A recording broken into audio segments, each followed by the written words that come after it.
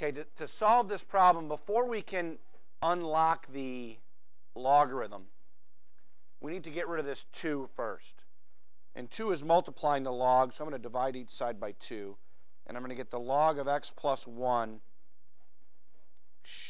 equals 2.5.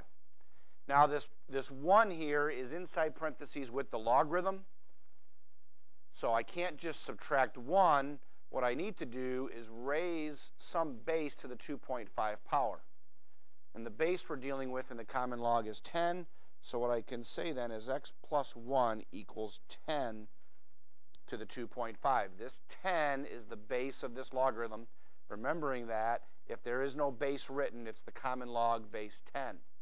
And now to solve for x, I just subtract 1, and I have x to the 2.5 minus 1, which equals about 315.2.